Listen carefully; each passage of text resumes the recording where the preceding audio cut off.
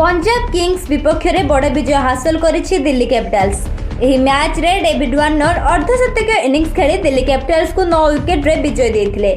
Warner ତିରିଶଟି ବଲ୍ରୁ ଷାଠିଏ run କରି ଅପରାଜିତ ରହିଥିଲେ ତାଙ୍କ ଇନିଂସରେ ୱାର୍ଣ୍ଣର ଦଶଟି ଚୌକା ଏବଂ ଗୋଟିଏ ଛକା ମାରିବାରେ ସଫଳ ହୋଇଥିଲେ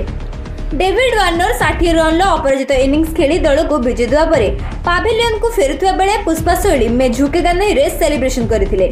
ଏହାର ଭିଡିଓ ସୋସିଆଲ ମିଡିଆରେ ଭାଇରାଲ ହେବାରେ ଲାଗିଛି দিল্লি অধিনায়ক ঋষভ পন্থ মধ্য মঞ্চরে নথিলে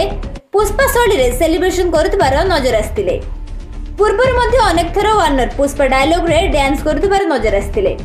এই ম্যাচরে দিল্লি ক্যাপিটাল স্পিনরক সুপর বোলিং সহায়তায় পঞ্জাব কিংসকু মাত্র শহে পনেরো রনরে অটকাই তাপরে অপনর ওয়ার্নর ষাঠিয়ে এবং একচাশ আক্রমণাত্মক ব্যাটিং করে প্রথম উইকেট পাই তেয়াশি রনর ভাগিদারি করে ଏହା ସହ ଦଳ ଦଶ ଦଶମିକ ତିନି ଓଭରରେ ଗୋଟିଏ ୱିକେଟ୍ ହରାଇ ସହଜରେ ଶହେ ଉଣେଇଶ ରନ୍ କରି ମ୍ୟାଚ୍ ଜିତିଥିଲା